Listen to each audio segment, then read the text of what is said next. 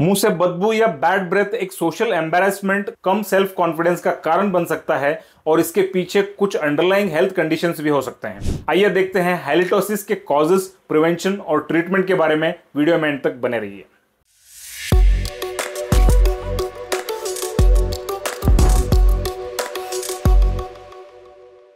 नमस्ते, मैं हूँ डॉक्टर जगत और मेरे हेल्थ अवेयरनेस चैनल में आपका स्वागत है। सोशल मीडिया में हेल्थ टिप्स के नाम पर हर चीज़ को बड़ा चढ़ाकर या बहुत ही बेसलेस और गलत बातें बताई जा रही हैं, जिसके कोई प्रूफ या साइंटिफिक रिसर्च नहीं होता है। जब बात हेल्थ नॉलेज की हो तो सही साइंटिफिक और प्रोफेशनल इंफॉर्मेशन को फॉलो करना बेहद ज़रूरी है। अभी तक आपने चैनल को सब्सक्राइब नहीं किया है तो ज़रूर कीजिए और बेल आइकन को भी दबाइए।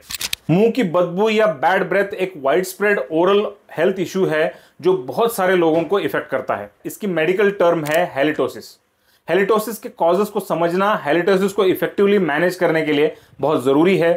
पहला है ओरल कॉजेस इसमें पहला है पुअर ओरल हाइजीन सही से ब्रशिंग और फ्लॉसिंग ना करना माउथ में बैक्टीरिया का बिल्डअप होने से बैड ब्रेथ प्रोड्यूस कर सकता है। दूसरा है गम डिसीज जिंजिवाइटिस और पेरियोडोंटाइटिस जैसे गम डिसीजेस भी बैड ब्रेथ का रीजन हो सकते हैं ड्यू टू बैक्टीरियल प्लेक या टार फॉर्मेशन की वजह से। तीसरा है डेंटल कैविटीज कैविटीज में बैक्टीरिया का ग्रोथ होता है, जिससे बैड ब्रेथ होता है। चौथा है ओरल इन्फेक्शन माउथ में इन्फेक्शन जैसे एप्सिस या ओरल थ्रश भी बैड स्मेल क्रिएट करते हैं। नेक्स्ट है ड्राई माउथ कम सलावा प्रोडक्शन जो कि मेडिकेशन कुछ मेडिकल कंडीशंस या माउथ ब्रीदिंग से हो सकती है, वो भी हेलिटोसिस का एक रीजन हो सकता है। टॉन्सिल स्टोन्स या टॉन्सिलोलिथ एक कंडीशन है जिसमें टॉन्सिल्स के ऊपर व्हाइट कलर की बैक्टीरियल कॉलोनी के पार्टिकल्स फॉर्म होते हैं और ये बहुत बदबूदार होते हैं। दूसरे हैं सिस्टमिक कॉजेस पहला है रेस्पिरेटरी इन्फेक्शन नोज़ थ्रोट और लंग्स के इन्फेक्शन भी बैड ब्रेथ का रीजन हो सकते हैं। दूसरा है digestive disorders acid reflux gastritis और इंटेस्टिनल ब्लॉकेजेस जैसे कंडीशन भी हेल्टोसिस को इफ़ेक्ट कर सकते हैं। तीसरा है metabolic diseases diabetes liver disease और किडनी फेलियर जैसे diseases specific breath odours produce कर सकते हैं। चौथा है मेडिकेशन कुछ मेडिकेशन जैसे एंटीहिस्टामिन्स डायरेटिक्स और केमोथेरेपी ड्रग्स ड्राई माउथ और ब्रेथ ऑर्डर को इफ़ेक्ट कर सकते हैं। हेलिटोसिस की प्रिवेंशन की अगर बात करें तो mainly good oral hygiene maintain करने और अंडरलाइंग हेल्थ इश्यूज़ को एड्रेस करने पर फोकस करते हैं। पहला है ओरल हाइजीन ब्रशिंग अपने टीथ को कम से कम दो बार एक दिन में फ्लोराइड टूथपेस्ट से ब्रश करें, जो फ़ूड पार्टिकल्स और प्लेक्स को रिमूव करने में हेल्प करते हैं। दूसरा है फ्लॉसिंग डेंटल फ्लॉस या एक धागे की मदद से डेली फ्लॉसिंग से टीथ और गमलाइन के बीच और नीचे एरियाज़ में क्लीन करना ज़रूरी है। तीसरा है टंग क्लीनिंग। टंग के सरफेस से बैक्टीरिया और डेब्रिस को रिमूव करने के लिए टंग स्क्रेपर या ब्रश के उल्टे हिस्से को यूज़ करें। Regular dental checkups regular dentist से मिलने से प्रोफेशनल क्लीनिंग्स और ओरल एग्ज़ाम्स के through potential issues early detect और ट्रीट हो सकते हैं। दूसरे हैं लाइफस्टाइल और डाइटरी चेंजेस स्टे हाइड्रेटेड पानी पीने से बैक्टीरिया फ्लश आउट होता है और सलाइवा प्रोडक्शन स्टिमुलेट होता है। अवॉइड टोबैको प्रोडक्ट्स स्मोकिंग और चीविंग टोबैको से ड्राई माउथ और गम डिसीज होता है, जो बैड ब्रेथ का रीजन बन सकते हैं। लिमिट अल्कोहल एंड कॉफ़ी ये ब्यूरेजेस डिहाइड्रेशन का कॉज हो सकते हैं और बैड ब्रेथ कंट्रीब्यूट कर सकते हैं। Eat balance diet crunchy fruits और वेजिटेबल्स जैसे एप्पल्स और कैरेट टीथ को क्लीन रखते हैं और सलावा प्रोडक्शन स्टिमुलेट करते हैं। तीसरा addressing underlying health issues consult physician, अगर आपको लगता है कि सिस्टमिक कंडीशंस या मेडिकेशंस हेलिटोसिस का रीजन है तो हेल्थ केयर प्रोवाइडर से कंसल्ट करें। मैनेज क्रोनिक कंडीशन जैसे डायबिटीज़ लिवर डिसीज और गैस्ट्रोइंटल डिसऑर्डर्स जैसे कंडीशन को प्रॉपर मैनेजमेंट हेलिटोसिस को इंप्रूव कर सकता है। हेलिटोसिस की ट्रीटमेंट उसके अंडरलाइंग कॉज पर डिपेंड करती है।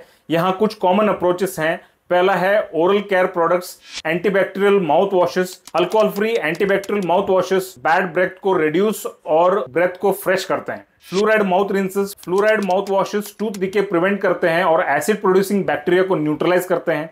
सलाइवा सब्सटीट्यूट्स ड्राई माउथ वालों के लिए सलाइवा सब्सटीट्यूट्स या स्टिमुलेंट्स हेल्प कर सकते हैं। दूसरा है professional dental treatment deep cleaning gum disease के केसेस में स्केलिंग और रूट क्लीनिंग जैसे डीप क्लीनिंग प्रोसीजर रेकमेंड की जा सकती हैं।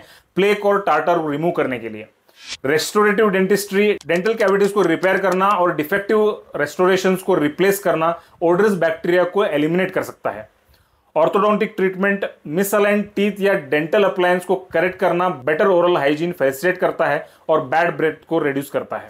तीसरा है medical intervention treatment of underline condition जैसे कि सिस्टमिक डिसीज को मैनेज करना और मेडिकल सुपरविजन के अंडर मेडिकेशन एडजस्ट करना हेल्थ इश्यूज़ को एलिवेट कर सकता है। एंटीबायोटिक थेरेपी ओरल इन्फेक्शन या क्रोनिक साइनोसाइटिस केसेस में एंटीबायोटिक थेरेपी प्रिस्क्राइब की जा सकती है बैक्टीरियल ओवर ग्रोथ को कॉम्बैट करने के लिए। सर्जरी नेसल पॉलिप्स या टॉन्सिल स्टोन जैसे कंडीशंस के लिए सर्जिकल इंटरवेंशन होना ज़रूरी हो सकता है, जो बैड ब्रेथ को कंट्रीब्यूट कर रहे हैं। इसके अलावा होम्योपैथी और आयुर्वेद में काफ़ी सारे असरदार स्पेसिफिक मेडिकेशन है हेलिटोसिस के लिए, जो उसके कॉजेस पे बेस्ड होते हैं। तो समराइज करने के लिए हेलिटोसिस एक मल्टीफैक्टोरल कंडीशन है, जिसमें वेरियस ओरल और सिस्टमिक कॉजेस होते हैं। अच्छी ओरल हाइजीन मेंटेन करना हेल्दी लाइफस्टाइल अडॉप्ट करना और अंडरलाइंग हेल्थ इश्यूज़ को एड्रेस करना हेलिटोसिस को प्रिवेंट और ट्रीट करने में इंपॉर्टेंट है। रेगुलर डेंटल चेकअप्स और टाइमली मेडिकल कंसल्टेशंस हेलिटोसिस को अर्ली डिटेक्ट और मैनेज करने के लिए एसेंशियल हैं इंश्योरिंग फ्रेश ब्रेथ और ऑप्टिमल ओरल हेल्थ इसके साथ ही व्यूवर्स की हेल्थ एंड वेलनेस जर्नी को और भी आसान बनाने के लिए हमने शुरू किया है एक नया इनिशिएटिव आपके किसी भी हेल्थ फिटनेस और न्यूट्रिशन इश्यूज़ पे आप ऑनलाइन कंसल्टेशन कर सकते हैं। व्हाट्सएप पे इंक्वायरी बिल्कुल फ्री है। ऑन कॉल या वीडियो कंसल्टेशन सिर्फ़ हंड्रेड रुपीज़ है टेन मिनट स्लॉट के लिए। आपके personalise diet nutrition exercise plan design कर सकते हैं और मेडिकेशंस या हर्बल सप्लीमेंट्स आपको होम डिलीवर हो सकती हैं वर्ल्ड वाइड तो इसे ज़रूर ट्राई करें। उम्मीद है आपके लिए ये वीडियो हेल्पफुल थी। याद रहे कि बुरी चीज़ों को पब्लिसिटी की ज़रूरत नहीं पड़ती है और अच्छी चीज़ों को फैलाना बहुत मुश्किल है। हेल्थ अवेयरनेस अकेले से नहीं होती है। इसमें आपका योगदान ज़रूरी है। तो इस वीडियो को ज़रूर शेयर करें and finally subscribe to stay healthy